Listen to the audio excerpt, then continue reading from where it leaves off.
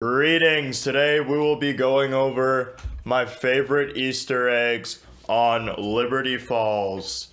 Now, these eggs are in no particular order. I've just compiled a list of Easter eggs I think are either cool or fun to enjoy or fun to get to. Now, in Liberty Stalls, the first egg on our list out of order is the vending machine egg. There's these vending machines in the motel. If you melee it there, you can get essence and sometimes even a ray gun.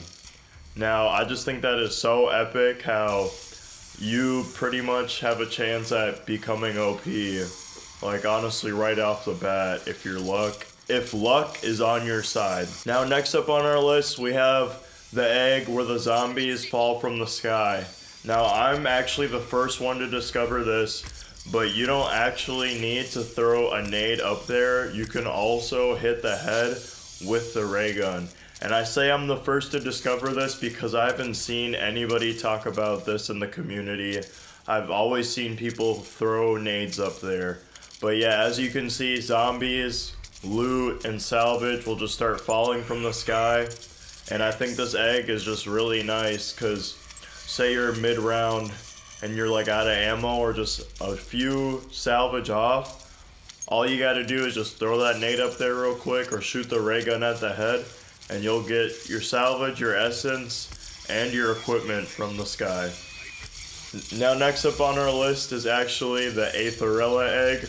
As you can see here, once you collected the five miniature statues of her, you can go around shooting lasers out of your eye sockets. I'm not even sure if this form, if this egg transformation has a time limit or not, but as you can see, it can eventually shred the abomination. And I've seen some people use it on the main quest of Liberty Falls to just essentially melt all the bosses.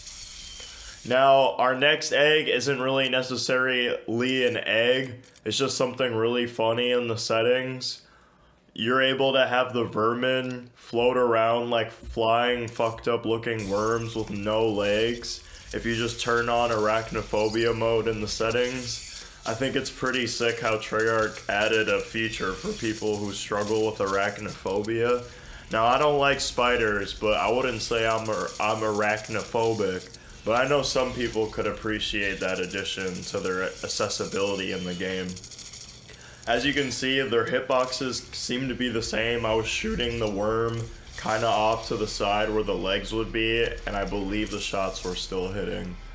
Overall, like I said, it's not an egg, but it is like something we've never seen before, and I just think it's interesting. Now, this next one needs no introduction. Once you shoot all the shoes, you will then be transported to a bowling zombies dance party in the middle of Liberty Lanes. As you can see here, there is a sick teddy bear shaking and grooving to greet you.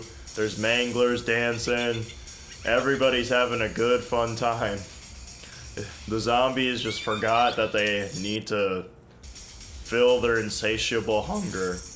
But as you can see, you can throw a bowling ball and bowl to hit zombies. At first I thought you had to hit the pins, but you actually need to hit the zombies in order to get your score up, and you can charge the bowling ball itself, which I think is a great mechanic.